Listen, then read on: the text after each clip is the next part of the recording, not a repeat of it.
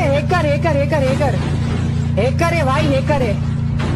भाई साहब, इसको बोलते हैकिंग अब बताओ.